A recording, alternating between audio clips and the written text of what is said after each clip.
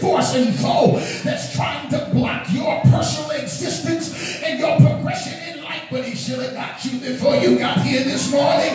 Because now that you're here, God sent me by here just to let you know that even if you lost it through your affliction, even if you lost it through your challenge, even if you lost it through your struggle, he says, I'm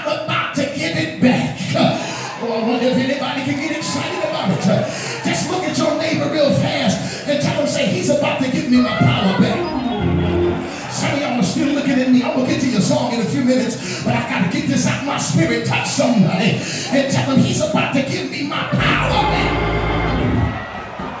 Well, how is he going to do it, Bishop Marvin? Well, the mind-blowing thing is, is that the Bible says something extremely profound. Because as we begin to look a little bit deeper in the text, I noticed something that blew my mind. I noticed, I noticed, watch this, I noticed, catch this, I noticed that there are of individuals that showed up on the Sabbath day for worship, uh, but they had a different mentality than Jesus. Uh, the text declares that the Pharisees and the scribes, uh, that they were there, but watch their purpose. They were there for one specific purpose and reason.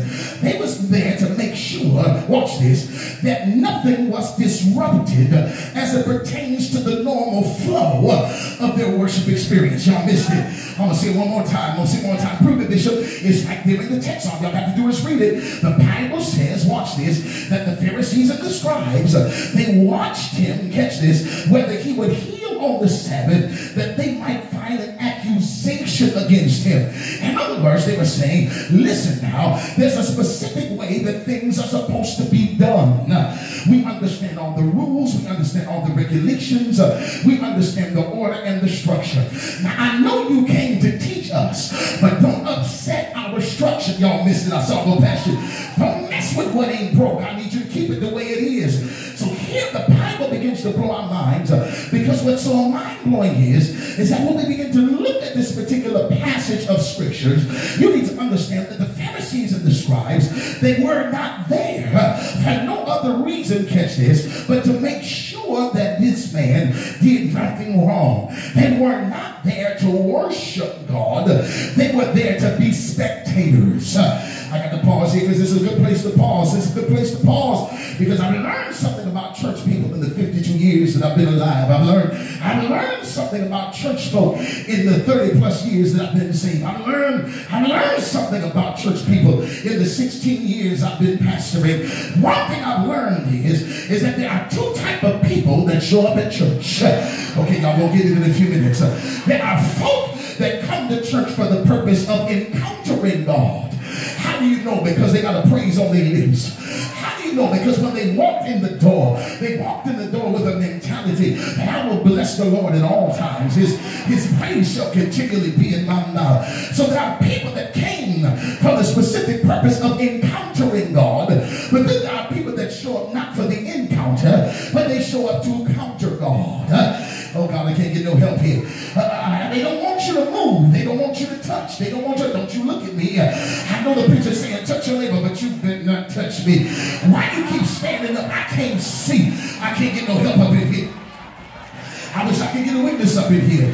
But the reality is that there are people that come to church for the purpose and the purpose of encountering God. They, they move of God. They, they want to experience a breakthrough. They want to see deliverance manifest itself. They want to see God show up and show out. But then there are some folk that just want to remain in the same structural format. And uh, Lord, and just, just get me to 2 o'clock or 1.30 so I can say that I've been in the house of God, but I ain't been with God because I didn't bring God with me. I can't get no help here.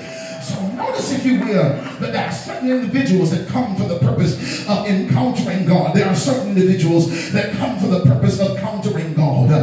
People that come sure that the traditions that they had were upheld. People that come for the purpose to make sure that nothing is destroyed, nothing is broken, nothing is moved, nothing is changed. Uh, but the Bible blows our minds in Mark chapter number 7 and verse number 13 it says, uh, the making the word of none effect, if you will. Making the word of none effect. Making the word of none effect through our traditions, which, which we have delivered, uh, and many such like things we do. In other words, beloved brothers and sisters, don't get stuck. Oh God, quiet, quiet. It's quiet. It's quiet. Don't get stuck. I, I, it's still quiet. I, I just said something powerful. Don't get stuck, y'all. Y'all listen, listen, listen, listen, listen. I'm sitting here. Don't get stuck. You got you got to be open to God. You got to be open to different aspects of God. Don't, don't get stuck. You got to be open to different moves. Don't get stuck. I can't get no help here. Just tell somebody, say, I can't get stuck. I can't. Uh, because you cannot live, watch this, off of what God said. You can only live off of what he's saying. Hmm? Y'all missed it. I saw I go past it. Let me prove it here in scripture just so I, I can make sure that the, the context of what I just said makes sense. Uh, that you cannot live by what God has said, but you can only live by what he's saying. Uh, prove it to me, Bishop. Come here, come here, Abraham. Come here. I need to have a conversation with you, Abraham. Abraham, if he would testify, man of God, he would testify about that whole concept of not living by what God has said, by what God is saying. Prove it to me. Because Abraham would tell you, I had a conversation with God one day, and in, in my conversation with God, he told me to do the strangest thing. What did he tell me to do? I'm going to tell you what he told me to do. He told him, I need you to offer up uh, uh, Isaac as a sacrifice. Uh, he speaks to Abraham. It was God speaking from his mouth to Abraham's ear. And he tells him, I don't want you to offer up your mistake. Don't offer up Ishmael. I want you to offer up what I promised you. Y'all, y'all gonna get it in a minute. I don't want you to offer up what you did. Want you offer what I promised you could have. The Bible begins to blow our minds because here we go now. He's he's he's agreeing with it, he's adhering to, if you will, what God told him to do. He begins to prepare to offer up Isaac as a sacrifice. He's he's he's taking his men and he's he gets to the base of the mountain, and when he gets to the base of the mountain, he decides to leave the men at the base the mountain with the asses. And the Bible says that now he and his son Isaac are on their way up the hill. They're on their way up the mountain. And I can see Isaac having a conversation with his daddy. And he said, he said, Pop, Pop, he said, listen, son. He said, I, I see, I see, I see the wood. I see the wood. I see the wood, daddy. I see the wood. I, I see the fire. I see the fire. I see the fire. I see the fire. But but, but I, I, I, don't see no sacrifice, daddy. I don't see no sacrifice. And he looked at his son and he says, listen, son, don't worry about it. The Lord. I wish I had some Bible readers will provide. It gets to the top of the mountain. When it gets to the top of the mountain, they prepare to offer up the sacrifice. Ah, when you begin to do an in-depth study, you will understand, know and know that what happens here is, is that that man Abraham instructs his son to lay upon the built altar. And he lays there biblically as a type of Christ. Watch this. The Bible says that Abraham reaches back with his knife But then God speaks again. He says, Don't kill him. Why? Because there's a ram in the bush. Y'all missed it. I saw no pastor. See, see, see, see, see, see, see, watch this. If he would have just listened to what God had said, he would have killed Isaac. But because he was listening to what God was saying, he heard that there was a ram in the bush. Don't get stuck on what God said because God is still speaking and he's still bringing about changes in your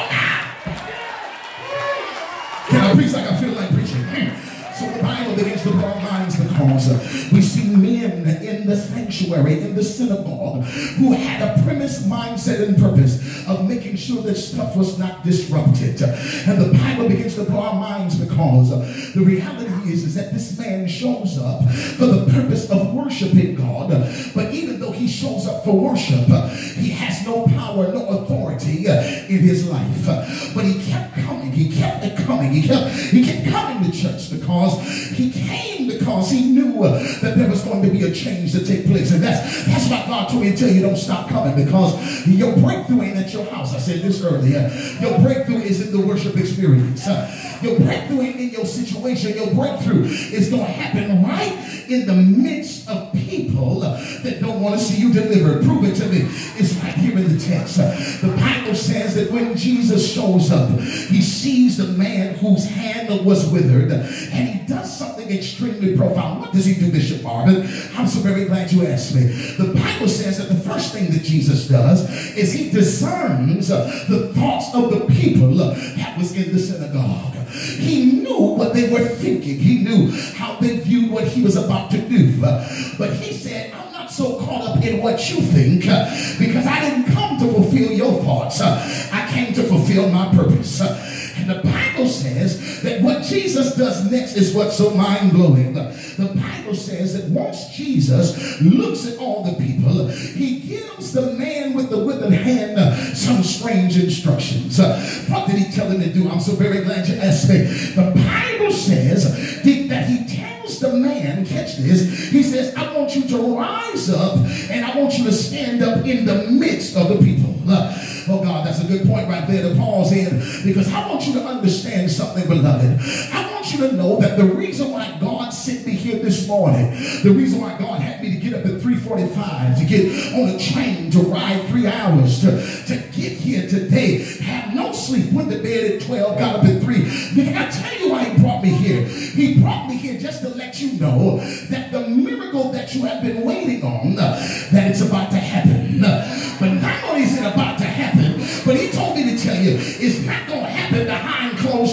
But he said he's about to stand you up right in the midst of everybody that don't want to see you be delivered. And he's about to deliver you right in their face. Oh, I wish I could preach like I feel like preaching. Just tell somebody, tell them, say, my miracle is about to happen. The only way it's going to happen, though, is you got to be obedient to what Jesus said. The Bible says that this man, this man, he listens to the words of Jesus. And the Bible says that when he tells him to stand up in the midst, the Bible says that the makes a decision and he decides to stand up. I just came by here to tell you that whatever God tells you to do in this season of your life, you just need to follow his instructions. Uh, I wish I could get a witness up in here. Touch your neighbor almost for the last time and tell him, say, follow his instructions. Uh, you've been trying to do it your own way and it has not worked. You, you've been trying to use manipulative aspects to get out of this situation and it has not worked. You, you've been trying to use trickery and schemery. Y'all ain't to talk to me. And witchcraft and voodoo and it has not worked. Touch your neighbor almost for the last time and tell them follow uh, his instructions. Uh, the mind-blowing thing, beloved brothers and sisters, uh, is that he stands him up in the midst of individuals that were doubting God's ability in his life. He stands him up right in the midst of individuals that did not want to see him be delivered, that did to see him come out, They did not want to, to see a miracle in his life. And I want you to understand, beloved brothers and sisters, that there are people on your road right now that they may like you, but understand that they don't want to see you come out. Let me go one step further. I've learned, I've learned, beloved brothers and sisters, that in this season of your life, that you got to make sure that you check out your crowd. And need to check out your crowd, because everybody that's in your crowd ain't on your team. I wish I had some help up in here. And That's why you got to understand what God is about to do. Because there are some people that you are connected to in this season that even though they may be in your life, they don't want to see you come out. Why? Because they love the fact that you are codependent upon them. And they recognize your strength back, that you will be able to function within your own abilities. So they want you to be an individual that has to completely and totally depend upon them. But God sent me by here to tell somebody this morning that deliverance is about to happen in your life so that you won't have to depend upon people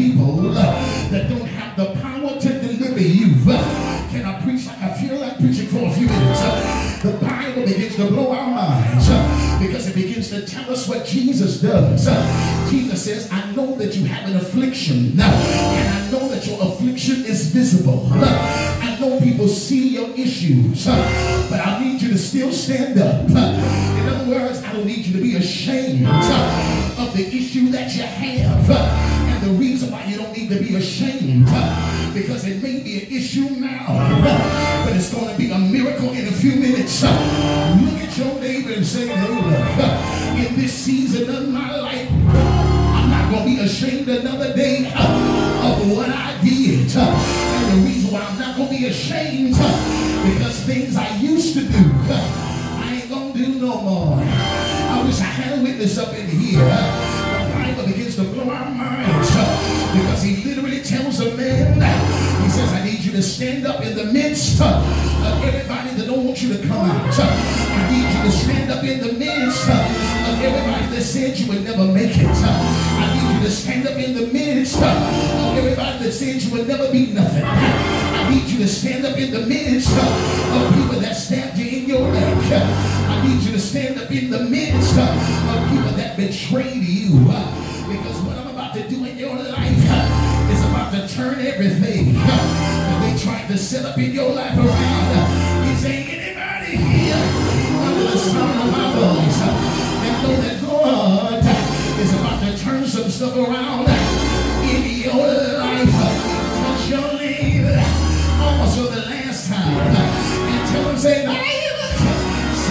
still looking at me. I said, touch your neighbor. I said, my neighbor. Oh, God is about to turn some stuff around in your life. Is there anybody here under the sound of my voice that's excited this morning? The truth is about to turn it around.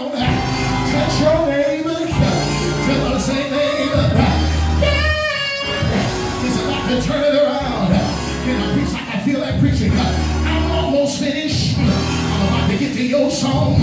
But the Bible says that he stands him up in the midst and he looks at the people, asks them the very same question. He says, Is it wrong or right that I heal on the Sabbath day? In other words, what's your problem? Why don't you want to see him delivered? What's your problem? Why don't you want to see him come out? What's your problem? Why don't you want to see him better? What's your problem? Why don't you want to see him greater? Can I close? I said, can I close? I'm about to let y'all go. But after Jesus looks at him, he blows my mind. Can I tell you what he does? He looks at the man with the withered hand and he gives him one instruction. He says, stretch mystics. He looks at him, tells him to stretch. Quiet. He looks at him and he tells him to stretch. What do you mean, Bishop? What he was telling him was, in this season of your life, I need you to do something that you never did before.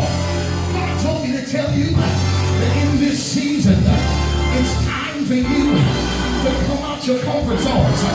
In this season, it's time for you to stretch out do what you've never done before. Is there anybody under the sound of my voice that's ready to go to a place that you've never been before? I know it may be troublesome, but God sent me by here to tell you that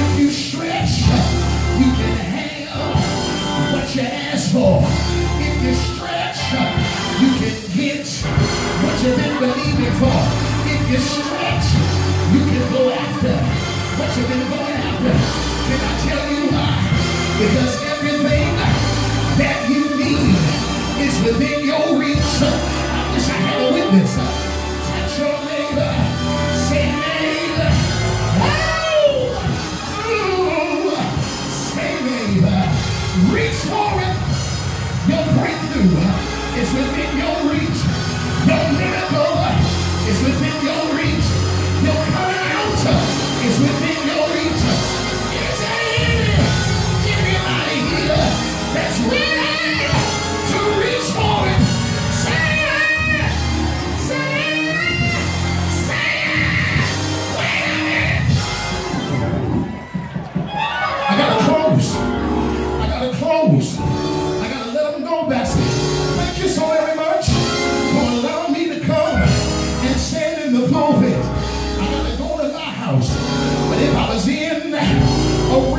Baptist church, I would probably close a little bit like this. I would just ask y'all the question. The question is,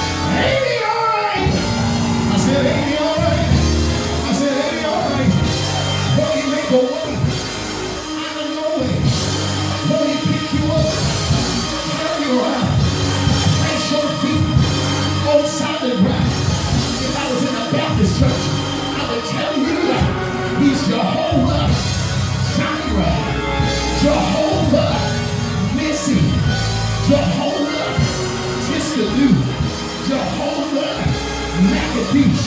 He's El Elyon. He's Adonai. He's Elohim.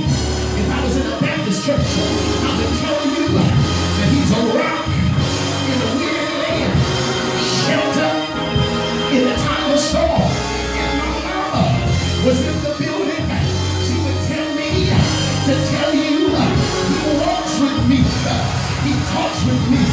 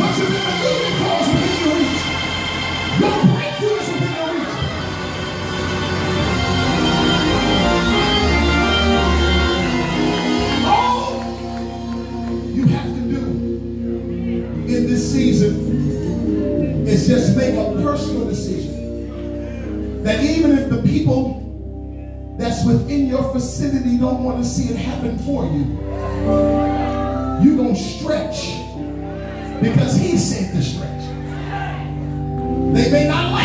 Like that you stretch, but all you want is your authority back. That's all you want. My authority back. And then once I've come through this, once I'm completely whole, once I get my faculties back, oh, once I get to a place, I don't have to depend upon folk, but I can stand on my own two feet. I walk up in the church and look at everybody with my whole self,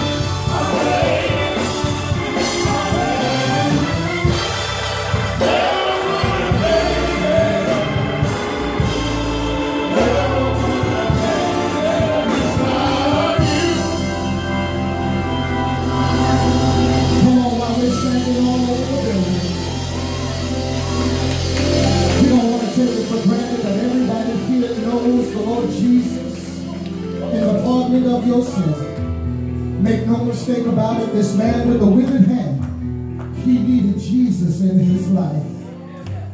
Listen, listen, that's the whole reason why Jesus came all the way from glory.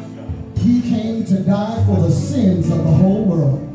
And all we have to do is believe in our hearts and confess with our mouth that Jesus is Lord and we shall be saved. As the deacons come, as the preachers come, if there's one today, listen, we had awesome worship. We just heard an awesome word. What a shame it would be to leave here the same way that you came. But if you want to be able to say you never would have made it, come give your hand to the deacon, but give your heart to God. Is there one who say, I need to be saved on today? This call is for you. Maybe you once said yes to the Lord. But like all of us, you've struggled through your storms and your circumstance. Today you can rededicate your life to walk with Jesus. If you desire to come back and rededicate your life, this call is for you. Is there one? Is there one? Last but not least, if you're in need of a church home, the doors of the church are open. Is there one today for salvation? One for restoration? One for church membership? One. Is there one? Is there you may be seated in the presence of God. Come on and let's put those blessed hands together. Were you blessed on today?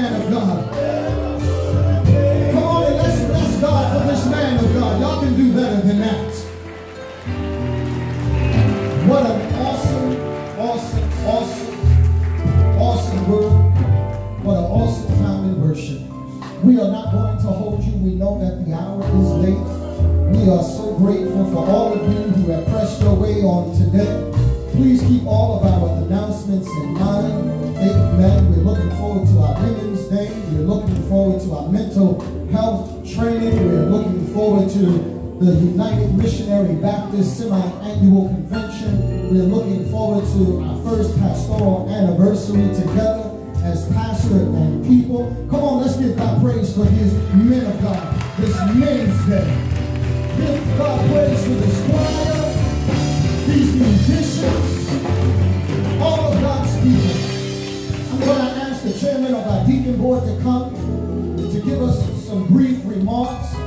The leaders who helped to put this day together, if you will come, we want to briefly, briefly give remarks that we may dismiss the people. Amen. Deacon Destin is coming.